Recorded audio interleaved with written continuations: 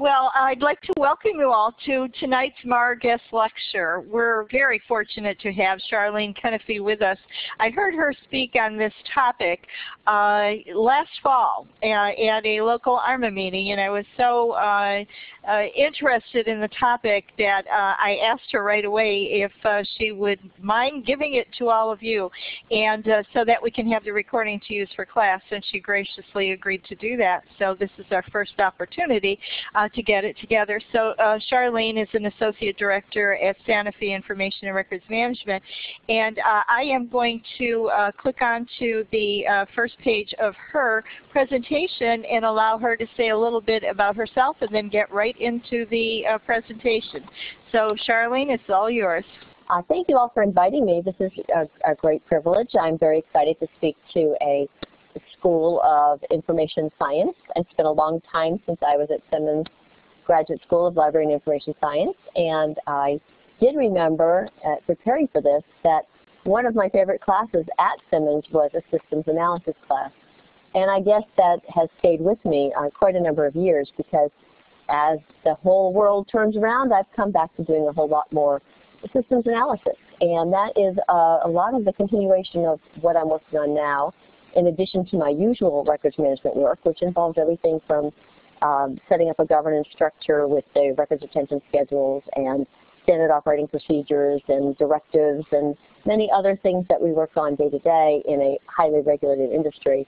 I also get to work cross-functionally and conduct lean events which allow the records management group to improve its own processes and work between groups, for example, between records and information management and IT or between records and information management, IT, and legal. And so a bit of what you'll see as we go through is some of the efforts that we've made at Sanofi to improve the cross-functional processes that affect all of us in a large organization. And I appreciate the introduction and the fact that I am going to try to keep concentrating on my topic, so appreciate if you'll wait to the end, and we'll try to leave plenty of room to answer questions and um, continue forward. So let me just move on, unless I missed something, Pat, that you can tell me I need to cover. I am going to give you a, a list here of the kinds of activities that we use in our records and information management program that have responded to lean improvement methods. One of the motivations of moving towards the lean program at Sanofi was the fact that we had so many mergers, acquisitions, divestitures, and other comings and goings of organizations that functions in different ways. They had different finance systems, different procurement systems, different uh, records and information management systems, different IT systems. And as the companies came together and tried to figure out how we were going to all work together and standardize, uh, we worked on training people like myself in every department on lean improvement methods. And so as you can see from this list, the, the thing that we started with was the harmonization of our programs. When Sanofi bought out the, program, the company that I was with, which was called Genzyme, we knew we were going to have to work very hard to get together and do things the same way, make some efficiencies, be able to operate the same way and cross-train. So we concentrated on the harmonization of programs. We decided one of the first things we work on is the contrast we had between a centralized records process and a decentralized one. And we wanted to make sure that as we onboarded and offboarded people at these companies, we did it the same way with the protection of information in mind. And certainly in a large pharmaceutical organization like ourselves, legal was a big part of our, our thinking. We have a lot of lawsuits, as you might expect. Anything that involves drugs is a, a highly litigious world. And any corporate world is a highly litigious world. We have disgruntled employees like everyone else. We have um, you know, slip and fall cases. We have all the things any large corporation would have, plus we have the added complexity of a very controlled environment in this regulatory world. So here are just some examples, and you'll see the slide again toward the end, and we'll talk a little bit more about how we were able to do some of this but I just wanted to give you a picture of the types of activities that we concentrate on in our business analysis to decide what were the functions that needed this approach more than others. So I want to give everybody a quick history of lean. I imagine most of you aren't Six Sigma black belts or MBAs who might have been exposed to a lot of this. So if you are, I apologize. It may be a little elementary if that's the case. But I know I had a pretty good education and a lot of working life before I came to this. And there were a lot of these concepts that I had not yet been able to explore. So I'm hoping that you will be patient with me as I walk through a few of these. So we're going to go through a quick history of the lean movement uh, and what it is, why we worry about value and waste, what methods we use for process improvement, and then uh, finally, how do we actually do this in our own records and information management program? So this may be a bit small, um, but it is a chart of the development of continuous improvement and then how it evolved into Lean, which is a subset of continuous improvement programs. And most of you are very young, I'm sure, but might remember that um, there was, back in the darkness of technology, the Industrial Revolution, and then here in America, Ford started doing assembly line work. And when you start thinking about assembly line work, you start thinking, how can that go faster? How can we make fewer steps? How do we clean up this process so that we can make more cars in less time for more profit? So that was the beginning of all this, is basically the way Ford decided to do assembly plants. And over the years, this worked through heavy industry and heavy equipment into other areas like my own, which is the pharmaceutical industry and healthcare. And we went to the 50s where Edward Deming had the Plan, Do, Check, Act theory of how to follow your steps, how to make things work a little better as you as you go through your own um, your own version of the assembly line, I guess is how we want to think of this. And then the, the penultimate goal that Toyota re reached before Lean was the Toyota production system. Toyota really put this into print. There were books written about how successful Toyota was. So that was um, Kiichiro Toyoda and Taiichi Ohno. And they were looking at the Ford mass production system in order to create this Toyota production system. And many of you may know the concept of just-in-time, which is pretty much everywhere. Almost now, with technology with the internet, with the ability to telecommunications, we're able to move things very quickly as they're needed to other locations. Order something. Uh, overnight delivery via Amazon. Uh, send it via a helicopter. Send it via a drone very quickly just as you need something. And that was uh, unheard of back in the 50s. But someone decided, why do we have huge warehouses full of things when we could just order parts just as we need it and get it just in time to reduce the inventory and improve the flexibility of this, which would enable high labor efficiency while you maintain your product quality. So um, somewhere in the 90s, I forget which year, there was a, a book called The Machine That Changed the World. And that was when more Americans caught on to this concept and really spent a lot of time thinking about these lean principles. How to reduce this continuous improvement process to a set of principles that are easy to follow, don't require huge manuals to do this, and it began to spread across other manufacturing industries, certainly um, anything that was a lot of pieces like Boeing uh, in aerospace. And then eventually it worked into things like healthcare, where people who were in the services industry started figuring out ways we can produce services that mirror how manufacturing is done and improve quality control while eliminating steps and getting things to people faster. So around 2000, we started seeing lean principles in non-manufacturing environments. So Sanofi, my company, was not the first to adopt it. There are many others like Merck and Pfizer and Johnson & Johnson who were doing this not only in their manufacturing and supply chain parts, but also just in their regular business ventures uh, you know, finance or accounting or procurement. All of this is related to manufacturing. And when you see the way the principles work for manufacturing, brains take that leap and say, we can do that. We can figure the same way, way of approaching things to improve our processes in non-manufacturing environments. such as information management or, or uh, shared services of various types. My group is uh, records and information management or information records management. We are a subset of something called uh, facilities and records management, which is a subset of something called Sanofi Business Services. That's basically a shared service environment where all the services that make a business run but are not responsible for profit margins uh, are, are put. And we're supporting all of the businesses.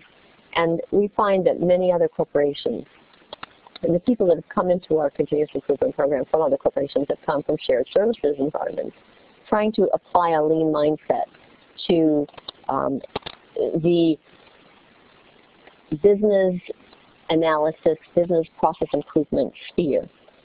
So um, this is part of project management. Some of you may have taken a project management course. I know I, I've taken many. In fact, we'll probably add PMP to my initial set next year um, because it is yet another related way of looking at the world, project management. So we're looking at um, business process improvement through all of this manufacturing, non-manufacturing. And it's now spread through just about everything that we can imagine in the world. Even though they may not call it lean, a lot of these principles now are very similar. You've heard Six Sigma and green belts and uh, black belts and, and ISO 9000, all related ideas. So at Sanofi, we look at the lean mindset as a way to achieve more and more with less and less. And believe me, in every group, we're required to achieve more and more with less and less. That is just the corporate norm. Um, this is supposed to give us our delighted customers, another concept that comes from the MBA world. But we try very hard to make sure that what we do improves the lives of our fellow employees as well as any external or internal customers that we service. So we have um, a way to make things better, faster, and more profitable. Those are the three parts that we're looking for to improve. And if we move our delivery of our products or services to our customers that way, they're happier, we're happier. It could be less wasteful. It definitely would save money and maybe it'll make us more money because we're getting things to our customers faster. We also really want the better part. In a company like mine, which manufactures pharmaceuticals, it, the customer focus is huge. Our patient focus is huge. And we produce everything from gold bond powder, which people don't necessarily rely on to, to save their lives, but we do have drugs that save people's lives. We have oncology drugs. The Genzyme part produces rare disease drugs. All of these require that everybody pay really, really close attention to what we produce, how we produce it, how we reach our customers, how they are interacting with our products. Very important to all of us. So the lean focus is on processes that customers will believe will add value in any industry. People will only pay you for what it is worth to them. You could produce any kind of a widget. You could have bells and whistles all over it. But if the customer doesn't want to pay for those bells and whistles, then you're just adding cost to a product that a customer is not willing to pay for. So one of the exercises that we use when we go through a lean event, such as the Kaizen, which we'll talk about shortly, is that we focus very closely on value-added activities, which are processes that change the product or service so that it meets the needs of the customers. And we want to increase those. That's what people will pay for, is the value-added activity. So if they won't pay for a pink pill and we're spending money making a pink pill, probably we don't need to worry about that because that's not value add to our customer. Uh, a business required non-value added activity might be a process that customers may not associate with added value but are required by a regulation or law or business rules. For instance, FDA regulations or SOX compliance transparency requirements are really, really important in my industry. And maybe the customer doesn't care, but those agencies and regulatory bodies can keep us from doing business, can keep us from making a profit, can um, make us look bad in the world if we don't do things according to those rules. So there are times we need to concentrate on business required non-value added. Customer doesn't care if it's a pink pill. but the FDA may require that our pill become pink to distinguish it from something else. And that would be uh, business required non-value added. They don't, customers don't want to pay for it, but the FDA might require it. So we can't necessarily eliminate those activities, the business required non-value added, but we can try to minimize the impact if we can simplify them and reduce the number of steps to them, or just combine a couple steps and remain compliant with the regulatory requirements, then that's the best way we can do that. So we try to simplify those. And then in terms of non-value added, that's what we call waste. Anything that's in a process that is non-value added, a process that requires time, money, and effort, for which the customer is unwilling to pay, is non-value added. So maybe I might like my pills pink, but if the FDA doesn't require it and the client doesn't want to pay for it and it costs extra money or adds extra steps, I'm going to eliminate those. It's very important in the process that we take a step back, take a look at what is in there as a step, and decide, is that really a value-added step? Is that business required? Or is that a step or a process that's non-value-added that we need to take out of there right now and eliminate? That is why we sit down and try to think about all of that. So we try to minimize that impact while remaining compliant, and that is a very, very important part of our work. So we're trying to generate value uh, and eliminate anything that's not value. And there are a number of ways we can measure that. So in our shared business services, we use these value creation metrics to ensure that we're continually improving the quality, speed, and cost of our processes. So we don't want to um, reduce our quality ever. We want to speed things up if we can, and we want to avoid any costs that we can avoid. So for the more profitable dimension of customer value, we've got cost avoidance, for instance, cost reduction, and revenue growth. Those are pretty important in terms of business survivability. We want to be competitive against our, our competitors. We want to provide the best value we can for our customers. So we need to concentrate on that cost avoidance, the cost reduction, the revenue growth. And when we do these exercises in our corporate environment, we also know that there are people watching us and looking at our metrics to determine that we actually have produced this type of value, the cost avoidance, cost reduction, revenue growth value. So we have that piece. We also have a better dimension of customer value, and that's the customer and employee satisfaction part and the compliance part. That is something that we consider a better piece of this value creation. And then for faster, we look into effort and turnaround time. And that's where the steps are, are involved that we will analyze in our process.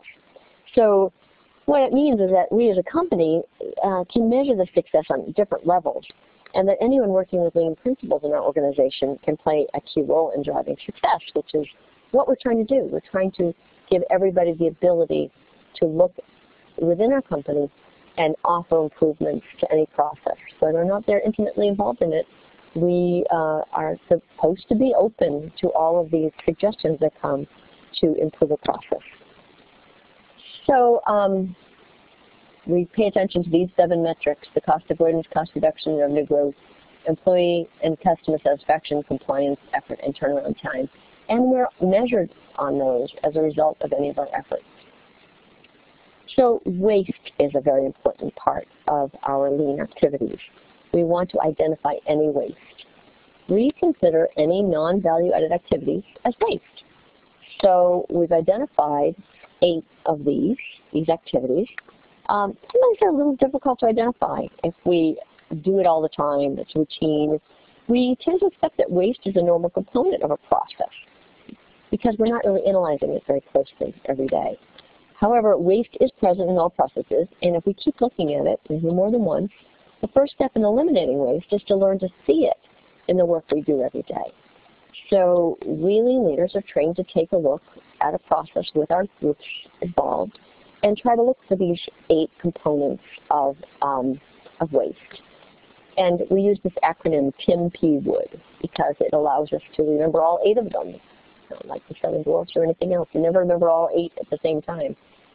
So what we have here is um, the TIM is the T, transport, which is down in the bottom left. And transport is the movement of work between areas or offices that does not add to the value of the product or services. So we are thinking that it's unnecessary movement. And this is very assembly line if you think about it.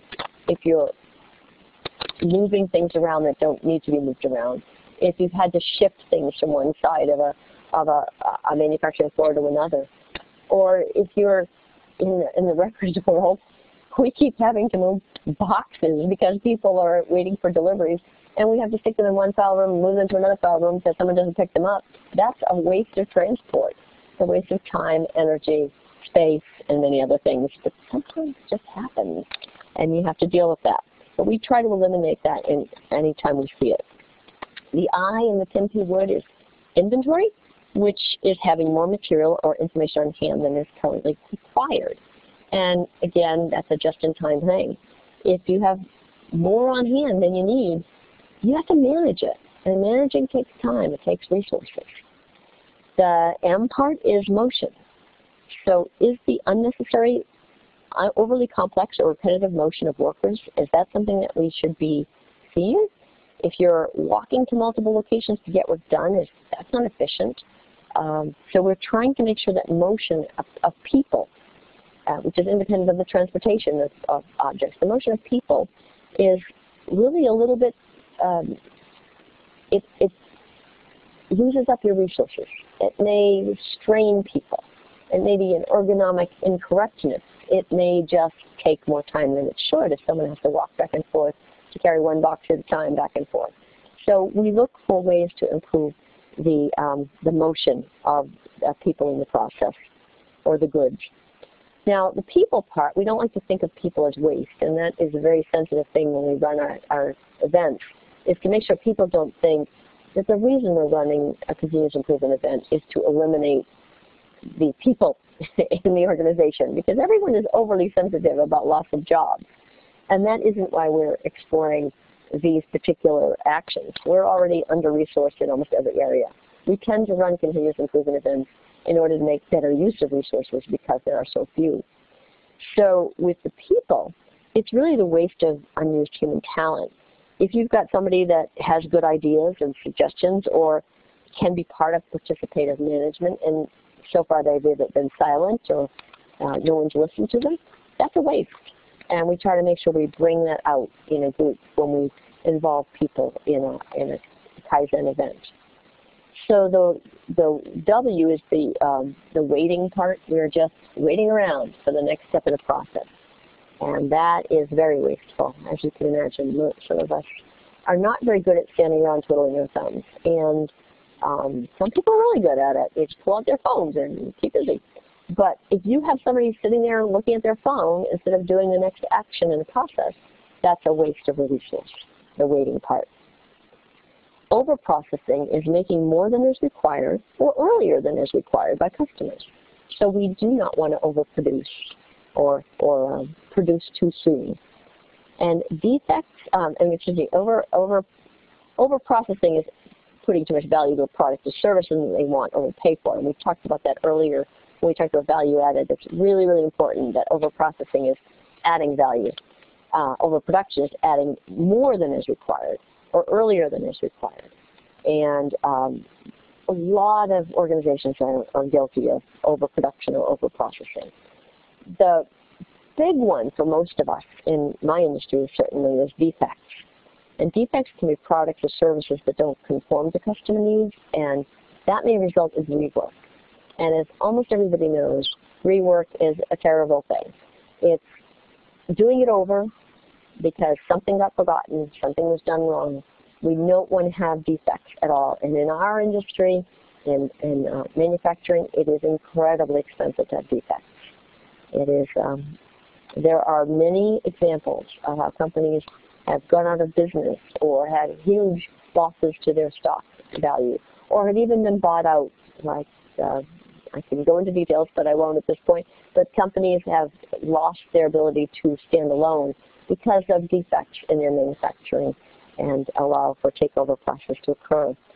So in general, we think about 5% of activities are actually adding value or adding activities that customers are willing to pay for. And so the challenge for any employee is to really pay attention to what is truly value added in their work and to focus on reducing or eliminating all the other ancillary activities that, um, that go along with that. And that's a tough one because most of us have invested a lot in our roles and our job duties. And it's very hard for us to give up something that we thought we did well or that we imagined somebody cared about. It's very hard to find out that someone may not care about something as much as you do or be willing to have you spend any time on it. I know it's tough when that happens to me, and it happens to me fairly often. So how do we improve our processes? There is a framework that's used in Lean, which is a process for improving processes called DMAIC, and that stands for Define, Measure, Analyze, Improve, and Control. And so when we run an event that analyzes a process, we go through these steps. We start with define and work our way through measure, analyze, improve, and control, um, in which each phase is a step in this thought process of eliminating the waste and solving the problem of how to make it better. So if we use this structured methodology, DMAIC ensures that problems are solved consistently so that from one analysis to another, we're using the same criteria, we're using the same tools to analyze that process to make sure that we have created this common language and dialogue for improvement. And we feel that way we can deliver maximum business impact through minimal effort across the organization. And so let's take a look at DMAIC, because that's one of my favorite parts of when I do an, uh, a, um, a session, is going into the define phase. And define phase improves setting the goal. So most of you have done project management, whether it was defined as such or not. And you know that there's almost no point in doing anything unless you want to say in advance what you're doing it for. You need to define that purpose and the scope of that and get all the background you might need before you analyze this process for the customer. So we do our best to understand customer requirements and what other processes might affect the outcome of our efforts. So if you come out of the define phase, you should have a clear statement of the current problem. Uh, all your improvement goals should be able to be there and how you're going to measure it. Metrics are a really important part of Lean. This came out of manufacturing and follows that, that mindset. Let's measure it. There's no point in doing it if we can't measure it properly because we have to be able to prove at the end of it that it was worth all this effort. So we start with a high-level map of the process. We actually take a huge piece of paper on a wall and we start writing out what the process is step by step. And that helps us provide um, that context of the process for the business. And we also bring in what we call the voice of the customer. It's really important for us to talk to the customers, to find out what it is they want, what they'll pay for, and how they see this as a useful measure of success. So the define phase tools include this project charter, and this is just an example of one we use in-house which shows the, um, the various parts that include the people involved, the, uh, the, the elements of this. We have our resources listed. We have our goal statements, primary metrics of success. So, you know, are we eliminating 20 steps? Are we doing this 10% faster? What are our metrics here? Uh, what are the business business goals for this? What can we say is the business impact of it? And then because we usually use this charter as we um, as this this statement, uh, we usually show this as part of our outcome of our of our our work, and this aligns everybody right up front what our goal is, who's going to be responsible, uh, who's our executive sponsor, who is the process owner, um, who are the team members and what are their roles. And the charter helps us figure that out. So it's what the improvement is to achieve, the scope of the activities involved, and what resources are available to you in one place. And we consider this a really important communication alignment and reference tool that the lean leader uses to work with the process owner and the executive sponsor as well as the people who are actually doing the work um, as we go forward and can check against as progress is being made. So it's a good problem statement, a business case. So we move on to the measure phase to collect more detailed data on how to validate the problem and improve or actually improve the charter because we find the charter is a starting point. But it may not be the exact same charter that we end up with. We may find during the course of the event that we've kind of realigned what our goals are. We've changed the scope slightly. We may find out we have the wrong, the wrong business sponsors and have to change those out. But that doesn't happen as often uh, as just shifting the goals slightly. So now we're in the measure phase. And so you've got the clarity on the scope and the goals in the define phase. And then you focus on gathering information on the current situation. So you want to develop a current state map. And that is my huge piece of rolling white paper across the wall that shows me what the process looks like now. The people in the room that we've gathered together can each tell us what they do as part of that process, and we can draw it out. We can use colors and markers and charts and string and everything else to visually identify every step of the process, who's responsible, what is involved, and start taking a look at that. So we're not trying to fix it yet. We're just trying to set on what steps are right, right now being used. So we collect the process baseline data. We try to understand how the current process operates. And we then try to focus on identifying pain points. Pain points, waste, and customer value. We talked about waste already. We haven't talked about pain points, but everybody knows what they are. There wouldn't be a continuous improvement effort if there weren't pain points that everybody already knows exist. But we try to make sure we identify all of them. And then we try to identify the value of that process and the improvements we're making to it. So this is a Visio um, you know, online software program to map out things. We, we put this in Visio. It doesn't look this neat when it's up on the wall, but we use a lot of these same colors and, and emblems to identify things as we, as we show our process problems. So in this one, we're, we're looking here um, to the green, which generally starts things off. So green boxes are processing steps. Green is actually value. Green is something that's being done. And uh, it helps to visualize when you look across here, you see, okay, how much green is involved here?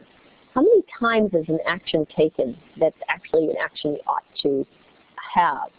And you'll see there's a little uh, vaguely made red heart, especially red heart, but whoever drew this, uh, not me, I hope, um, didn't do such a great job of a heart. But the heart shows that it's customer value added. And that's almost always on a processing step. Something that's in there is really important, and that's what the customer is paying for. So uh, you start by identifying all these process steps, whether or not they're value added, and then you color code them so you can visually look at this and, and take a quick look at saying, where's the value, where's the waste? So the purple boxes, and there are a few of those here, probably because that's one in, in my world, inspection. Inspection steps are not really the steps you want to spend a whole lot of time doing, but they're required in industries like mine, you know, pharmaceuticals or banking. You need to have somebody constantly doing quality checks. And we try to reduce or combine those types of purple inspection steps along the way. Um, but you have to show in a current state map how many there are. There's a lot of inspections. And a lot of times that's what we can eliminate is a number of inspection steps along the way. So um, the yellow boxes are transporting steps. Not too many here, but there's always transporting steps where something is handed off between one group and another or one person and another. And or is just literally in the case of records management, maybe it's a a records box that has to get from point A to point B before someone can take a look at it. Blue boxes are storage. So when you see blue, that means it's waiting for something to happen. You know, you're waiting for an email to be returned. You're waiting for the box to be delivered. You're waiting for something to happen. And that is wasted time. So every blue box is pretty much wasted time. So you're trying to identify defects and associated rework by connecting these process steps where the errors are. And you want to make sure that you notice those red lines. So that's when something is reworked. So in these, there's too much rework. We try to eliminate the number of times that something has to go back and be done again. And this is an inefficient process with this many red lines going back and forth and saying, um, next step, next step, uh-oh, got to go back and do it again. So this is just a visual. Um, I wish we could all be together and just put hands on because it's, so much easier to understand when you get a chance to do this. But you try to then take a look at this and figure out how long it takes for the cycle time for each step so that you can identify bottlenecks in the process or steps where the you have delays, where maybe the inventory isn't there and it delays the flow of goods and services, or you're waiting for someone on vacation to make a decision and you're waiting and waiting and waiting. So that can all be written out in its current state. You can, uh, usually we put little um, numbers on the top of every box to indicate how long it takes, a day, two hours, a week. And then at the end we can add up the amount of time it takes for that entire process to go. And we can use that as a metric to say, we're reducing this time. It was 15 hours from step, from step one to the step 30, and now it's only 12 hours, so we've saved ourselves three hours. That's a metric we can use. So um, we're going to go into the analyze phase, and this is always a fun one in a, in a group. We're going to try to identify the root causes of the problem. So we've identified some problems in our process, and then we try to confirm with data. We try to go back to the process owner, or we look for a subject matter expert to say, what is the root cause? Why are we having a problem here? Why can't we move this thing along? And we end up with our cause and effect analysis, and a five whys approach helps us to do that. That's, um, yeah. So again, sorry for the eye chart here, but the, um, many times we just see the symptoms of the problems, but we want to prevent the reoccurrence of the problem, so we drill down, we keep going down to identify what the root cause of the problem or the waste might be. So we use this tool called the five whys, and there's a lot of cool examples of this, but this is just one that was usually put in the chart. So if you ask the question why about five times, you'll get an answer for a root cause. So here's one that starts that I didn't make my flight, and you say why? Because I overslept, and you say why? Because my alarm didn't go off. Why? Because the battery died, and why? Because I lost my charger. And then the last why is, you know, because I'm just not very good at this, I'm careless, I just lose things regularly, and you know what the root cause is. And you also know what the action can be, which is that you carry a spare charger. And many of these, if you read through them, you can identify yourself and your own weaknesses. And I've done these for myself, for my significant other, for my children, for things that go wrong on vacation. It's amazing how many times you can use the tree diagram of the five whys to um, realize how often you can screw up and how to fix it in the future. Um, but I wouldn't get too critical of your significant others because that doesn't go anywhere except trouble. Improve phase. And the improve phase is uh, the goal here is very clear. You want to identify, prioritize, and implement these solutions to address the root causes. You know that you don't have, you should carry a spare charger, so then you need to implement that solution. That's a real easy one, you know, buy a charger. But in the case of a complicated process, you might have to work a little harder at this. So the improve phase is where you take your team and you develop this future state vision of the process and the solutions to address the root causes of key problems and waste, don't forget the waste, that we talked about a few slides earlier in the analyze, analyze phase. So many of you have done this whole brainstorming, solutioning thing, I'm sure, in many parts of your lives or your working life or student life. And everyone always uses that phrase, uh, think outside the box, or generate a whole wide variety of potential options. That that brainstorming thing can be very valuable, especially if you have a room full of people who don't always work together, don't always have the same kind of job, and might see things a little differently when expressed by another person. So we try to do these brainstorming or benchmarking or experimentation techniques with a group of people from disparate backgrounds. So there may be more solutions that they come up with in a room of 15 people than you have resources to do or even a mandate to do. So you want to use a, a benefit effort matrix potentially to as a tool to prioritize your work. I'm going to do that. And I think most of you have seen this, the quick wins. We're, in Kaizen, we're looking for quick wins. things that we can start and continue. We love to find out in, in the upper right quadrant a lot of strategic initiatives. That's great, but no one's paying us to get in this room and do this, do this effort um, because it's costly, takes a long time, and our charge is to do this quickly. Generally in a Kaizen, it's 30, 60, 90 days. Let's get this done. Nice to haves are what we can implement after the quick wins are done. And defers are activities that we really, really want to just stop because there's no value add to those. So we don't want to pay a lot of attention to the lower right-hand part of the quadrant because it's high effort and low benefit. So we want to make sure that our solutions are deployed. We want to document and train a new method. We want to implement. We want to use a control plan. And we use change management plan. So we've spent days in the room working on a solution. And we're coming up with an implementation plan, which has very clearly people, uh, the, the, the, the task, the person to do it, the date that's expected to be done. So we come out of every one of these efforts with an implementation plan where it's very clear who's, who's in charge of which piece. And as a lean leader, what I generally do is I hold, after a three or five day Kaizen session where everybody works through all of these, then I call everybody into a meeting a week later, find out where we stand, see if there's anything we need needs tweaking, and then say, okay, what's going to be done in 30 days? What's going to be done in 60 days? What's going to be done in 90 days? And then we have 30, 60, and 90 day meetings. At the end of 90 days, we should be done with what we said we would do. If it wasn't a 90-day solution, it needed to go into the strategic initiative and not in the wins. So this is just a small example of a very small Kaizen, which was on um, centralization of box storage between two groups that I work with. And it was very easy. You know, take things out of two separate systems, put everything in SharePoint. Um, have, have these very straightforward goals and due dates and keep track of the status. So we use those as one of the tools. So we want to make sure we have that change management plan in place because as you know, the hardest thing to do is get everyone to accept a goal and to actually make the changes.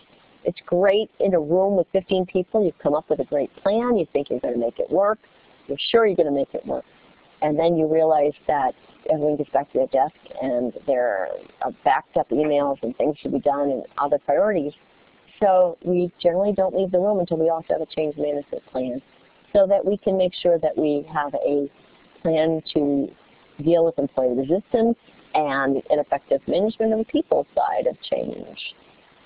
So we think that the continuous improvement and lean mindset applies to everyone. There are um, a few big problems that we can fix, uh, project support and, and project mapping, project management, implementation control planning, and we deal with scorecard and, and dashboard development to make sure that we take care of those big problems. The medium-sized problems are these Kaizen events. So if we come out of a out, of a meeting and we've identified all of these big plans, we've got more trouble than 30, 60, 90 days is going to let us deal with. Medium-sized problems, we use a Kaizen event, a two to four-day workshop that's facilitated by the leader and so we identify and implement a fix in 30 to 90 days. And then for small problems, one of the good things now is that we're at the point where when I see a problem in a process, I just can gather three people in a room and say, okay, what are we going to do about this little issue? Let's just fix it now. And we can, we can do this. It's very, very nice to uh, be able to make a quick change and not have to have a big, uh, big to-do with 15 people in the room from four different groups. You just pull together a smaller group where am I here? Uh, and so I usually run Kaizen events. And Kaizen is an interesting, um, it, it's a lean workshop, usually three to five days. It's a, a potential vehicle for executing that DMAIC methodology that's typically applied to these medium-sized problems. And the medium-sized problems in my organization are usually cross-functional. They're not within one function. They usually require cooperation between more than one function to improve. And that's a do now solution. We are given authority to do this now, make a difference, make it happen. So we put 7 to 15 people in a room. We um, bring everyone together and we work on transversal processes to cross these multiple functions, businesses, and countries even. Afterwards, And I really enjoy doing these because I get to meet new people. I hear what they do for a living. I get to see what their part of the process is. And one of the things I enjoy, especially as an extrovert, is pulling people in that don't always get listened to or have a very small role in a process but an essential one, and that's why they're in the room. And other people need to understand what that person does and what the um, what the obstacles can be or the challenges can be. And so we have actually uh, we put here some of the testimonials of people who participated because I like for folks like you to understand that people really get excited about these. This is uh, not just a kumbaya moment. People really enjoy learning more about how everyone else views their work and what roles they have and what pieces they provide for some of these processes. And that's usually about three days that it takes a team to gel. First day is kind of like the high school dance with the boys on one side and the girls on the other. By the second or third day, that you know everything gets mixed up. Uh, a lean leader makes sure that people don't just get to sit next to the person they knew uh, before and who's their buddy. They, they have to integrate across the organization so that they know what, what we're doing. So we're, we work pretty hard at keeping the groups small, uh, understanding those pain points uh, between them, having people in different groups be able to tell each other, well, the challenge is you think it goes like this, but what really happens is that. And just to see each other understand what happens to the other person and it just opens their eyes and makes them a lot more interested in making it work across the organization. So we use that, we use the voice of the customer quite an awful lot um, ahead of time and during it. We use the current state value stream mapping to make those big charts on the wall. We list our pain points and we go back at the end and we try to make sure that we've reduced the pain points. We look at a benefit effort matrix and that's often led us to other events or other things that we could do to improve in a department. Um, I did one Kaizen one time on the life cycle management of computers for onboarded employees, and it ended up generating, I think, five other events because all of the problems we identified and the other processes that were affected. We try to make sure that um, we concentrate on those quick wins. That we, we want to have an immediate effect. It's a good morale booster. It, it leads to efficiencies right away. We don't have to wait for that. It, it simplifies things. And maybe we haven't solved the big problem. If we solve a lot of smaller ones, we reduce the magnitude of the big problem that has to be solved eventually through a project or an application of larger resources. And then we create the future state value stream map, which shows everyone what our ideal state is, at least at this point. Reality is maybe there's not enough money or enough people to do it the perfect way. But we find a good enough way that's improved from the place before. And then we make sure to have an implementation and control plan in place to keep things moving forward. So here's just one example of a charter that we used for centralizing the offsite storage operations. And you know, there are a number of people involved. We were able to make better use of resources. We were able to reduce risk for our organization. And I have to say that three years later, it's still going really well. And we had a follow-up event about a year ago to um, to make it another improvement in the process because everyone had been so well cross-trained between our sites that we could make the next step. And it, it was good to reach that stage. And other, let's see what other things I threw in here. This is a, a small version of a, of a, um, what we call it, a SIPOC chart, suppliers, input, process, output, customers, to show where we're getting our input and who we're, who we're doing this for uh, for the customers. And we try to build these little maps at the beginning to understand the, an overview of the process. Because it's, just, it's, a, um, it's been used in, in total quality management programs since the late 80s, and it's still used in Six Sigma and lean manufacturing. So we try to use these as part of pre, pre-work. And lately, we do fewer and fewer three or five day events and more and more half day events or broken up events because we can't afford to constantly have 15 people travel between sites to um, spend three days in, in classrooms to get this done. But it is really nice to see that understanding that's developed by members of the team on, and how they let go of their own parochial viewpoints and see things through other eyes and, and offer some. So this is an example of one of my three-day Kaizen agendas where we start with the kickoff, go through voice of the customer value stream. Next day we do root cause and brainstorm, prioritize, design the future state, implement improvements on the third day, create change management plans, implementation control plans. Then we do a little report out because usually we show people what we've done, you know, the, the um, leaders and executive sponsors. So that's, um, that's a destruction process value stream map, which I use now. We uh, actually donate Genzyme's historical records to Harvard Business School for an archive, and I implemented this in order to not let our normal destruction process destroy boxes of materials that were of historical interest. So um, it's a pretty simple process, but it, it takes our destruction process and puts an overlay on it. And that was reached by bringing some people into the room. Because we get into our daily tasks and we don't see all the minutia that, that affects it. And I think there's some, uh, yeah, back again. Some of the things that we spend time improving is our relationship with other groups like, like litigation or facilities management. We do a lot of move, closure, renovations.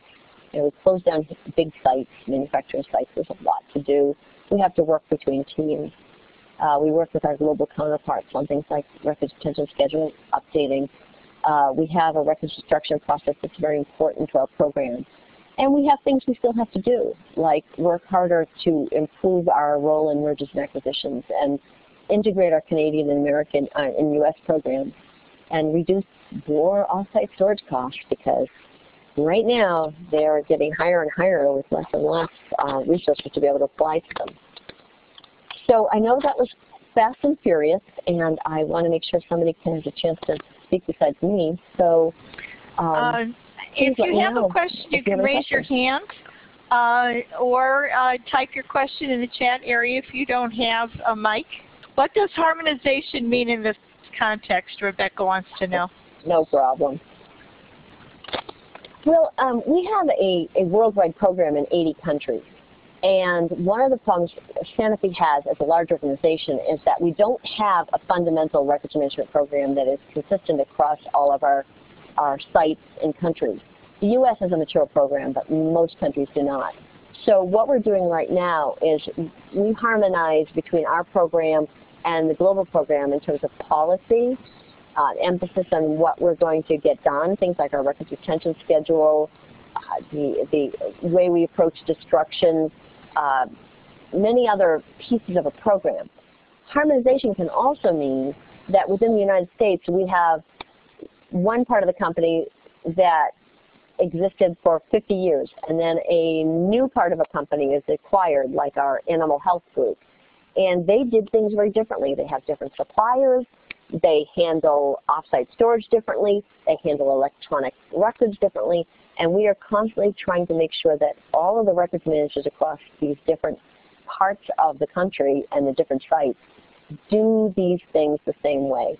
So we are able to justify and, um, and defend the way we approach records in our company. I hope that answers the question.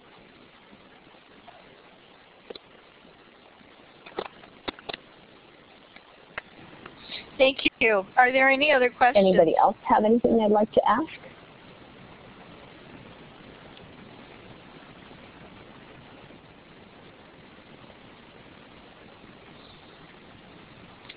How many of you have heard of the Lean uh, Kaizen approach before? Any of you?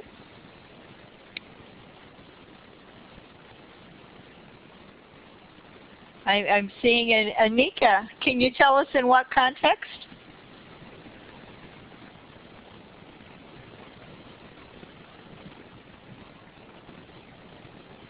And I see Charlene has put her uh, email uh, in the chat area. It's easier for you to grab that way if you'd like.